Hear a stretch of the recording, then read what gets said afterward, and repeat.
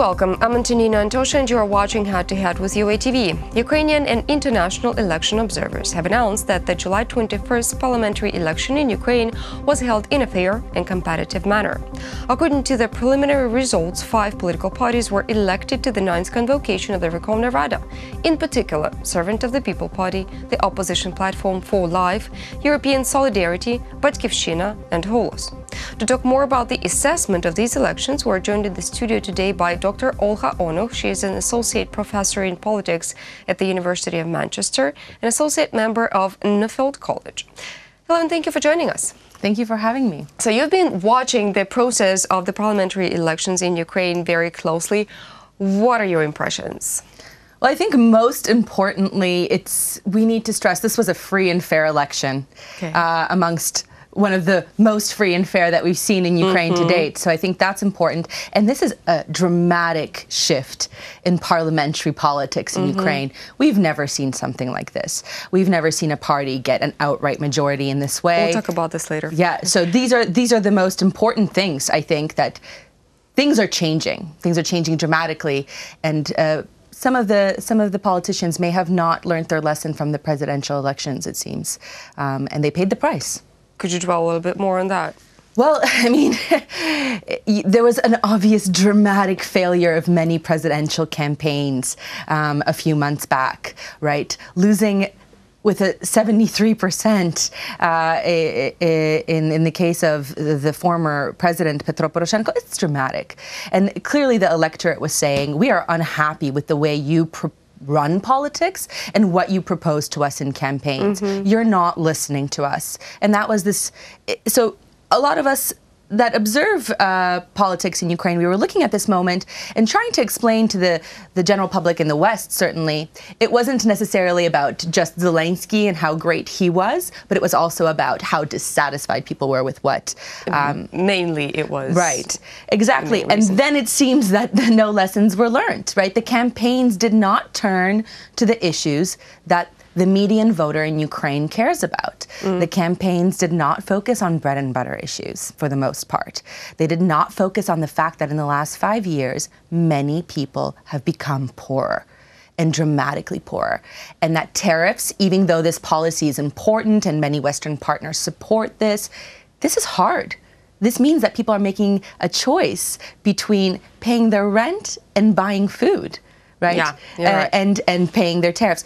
And that wasn't discussed. And so once again, what Poroshenko proposed, or uh, rather, Европейska Strategia or uh, European strategy, um, and some of the other uh, uh, new parties uh, on the block, like Holos, they were just not talking about the issues that most people care about on the day-to-day basis. Mm-hmm. And you have the results that you have. Uh, they also didn't unite, uh, right? This this European strategy in Holos and a few others like um, Groisman strategy or um, or uh, uh, you know uh, Lyashko. well, Lyashko wasn't an obvious uh, coalition in those, but you know, certainly Holos, certainly uh, European Strategy, certainly Groisman, they could have come together maybe with Sadovyi and mm-hmm, Samopomich. Mm-hmm. They could have had a much stronger uh, coalition campaign and get more more seats in parliament. Yeah. Well, now they got what they got. Yeah. Speaking of campaigns, um, comparing to the previous parliamentary or presidential elections held in Ukraine, how fair was the campaigning process in terms of violations? So, from my reading of OSCE reports and a few other reports like um, the Committee of Voters of Ukraine, etc., there weren't as many uh, violations. There were certain violations in some places. Um, you know, there is this problem with both. Uh, Sluha Narodu and Holos, where they have uh, camp they have party leaders who are also uh, stars, right? And they are connected to television, yeah, entrepreneurs, but also connected to uh, entertainment industries, and that blurred once again in these campaigns here, mm-hmm. right? Uh, so, of course, showing during the presidential campaign, showing the the the sitcom about the president that was problematic, right? Most observers did think that was a version of illegal campaigning, um, as were the Kvartal concerts, etc. But so were the Okean Elzy concerts, right? Right. That is also, we know when Okean Elzy's uh, concert, Billboard says it's going to be loud. Bude Holosno, right? They're referring to the party. So these kinds of things were happening. Um, and in the uh, in the majoritarian seats, yeah, we saw a variety of different things happening, which was similar to past years. Uh, but this this in infotainment entertainment element this electoral cycle was certainly different in a way because of that and I thought it was weird that when people supported one party, they criticized the other, and when they supported the other party, they criticized. So they didn't look at their own parties and admit to the fact that, quite frankly, an Okean Elzy concert that has the party name in its main billboard is also problematic. Oh yeah. Yeah. Uh, even the concert itself, it's Yeah. it could be already considered as yeah. an agitation. And if it's free or Yeah. etc. Yeah. Speaking of the Servant of the People party that is basically still in the show, according to preliminary results produced by the Central Election Commission and the National Exit Poll. Um, I think that this is an unprecedented situation when people of Ukraine unanimously voted for one party. What do you think about it? Well, not unanimously. I think that is important. So we do have, you know, more than 50% voted for someone else. So that's Okay. impo- that's important, right? Um, but certainly a large plurality voted for Sluha Narodu.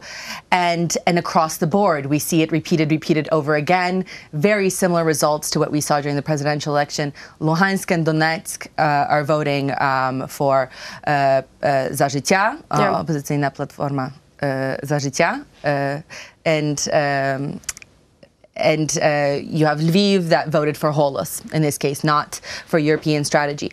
But across the board, the plurality of votes are going to Sluha Narodu. This does mean that there are, you know, because the plurality votes and because of the majoritarian system that's combined with the the the uh, the overall uh, system. This, these two systems that are working together. This does mean that there is a portion of votes that are not being counted for, especially in the majoritarian seats, right? So there are people that are not being represented, and if you just do the math, even of those bottom uh, parties that are not going to make it into parliament, we're talking about a few million. Right? Mm. So there are a lot of voters who are just not going to be represented in any way, shape, or form in the parliament, mm-hmm. which is something that I think policymakers will need to take a look at in future years. But yes, we haven't seen something like this, as I already said. And it's Is it risky?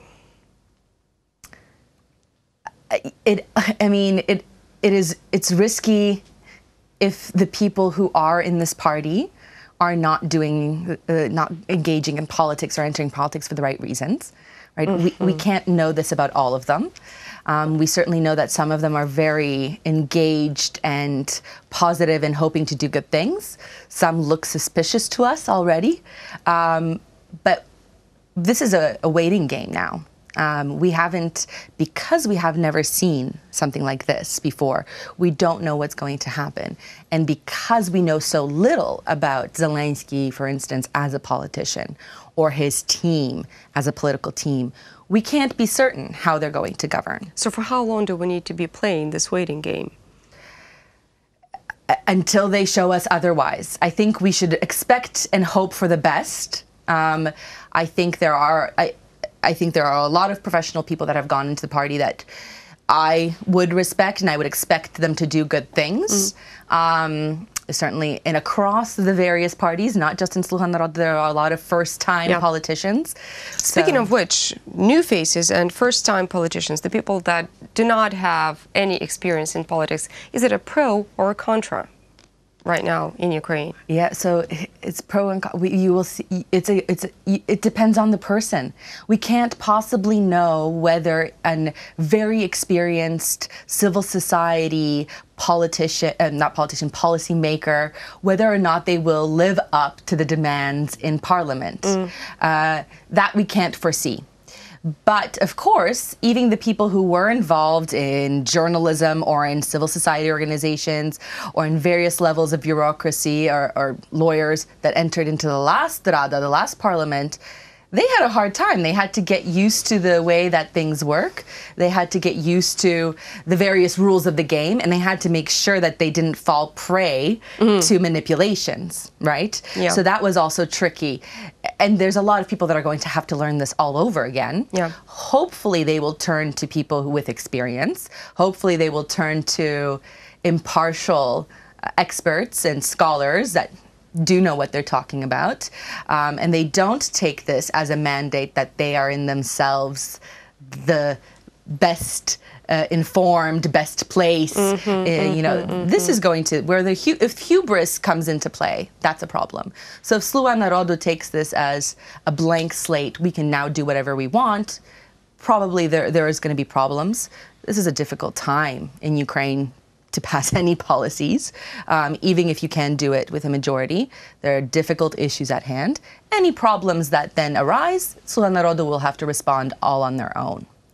But if they join a coalition, if they work with partners, if they invite uh, local, national, and foreign experts to work with them, th- th- that blame will be shared across a broader group of people. Speaking of international experts, there are international partners of Ukraine who already have obviously stated their mind about what is happening about the, res- the preliminary results of the parliamentary elections. Now, what are the expectations of the international partners of Ukraine placed on the Sluga Narodu party? I think the expectations are that you, the reforms will continue, and that reforms will speed up where they kind where they certainly stopped or stagnated under the past government. Uh, the most successful reforms that they are prioritized. Uh, I've been telling everyone it's decentralization is highly popular in Ukraine. Um, the general electorate really likes the idea. Also, in, we see that when we do empirical analyses, we see that in places where decentralization happened, people have greater faith, greater levels of faith in democracy. So it helps to build this culture of democracy at the local level as well. So this is something that they should certainly continue. Um, and uh, I think that is the main thing. There are certain reforms that are underway, whether they are economic reforms, whether they are um, in the medical sphere, Yeah. in the education um, education sector. This is what the partners expect to continue. Except for reforms, what else? Well, certainly the the peace process um, and the Minsk agreements, and how do you go forward from this? Uh, I think the international community is fairly invested in the last Minsk agreement. They really want this to be the blueprint for peace. The Ukrainian side might have different perspectives on this, but this is what many of the partners would expect. Um, certainly, Zelensky and his and his whole team, and now Parliament, to go forward with, uh, or propose a constructive alternative, Yeah. which uh, I, I so far haven't seen something like that coming out of this team, but maybe we will um, when they start getting rolling and they have their ministers in place. Well, I think that the expectations are pretty much the same within the citizens of Ukraine. Thank you so much for coming here and sharing this information with us. Thank you very much for having me. That was Dr. Olga Onuch. She is an associate professor in politics at the University of Manchester and an associate member of Nuffield College. Thank you so much for watching UATV. Stay tuned for more. Yeah.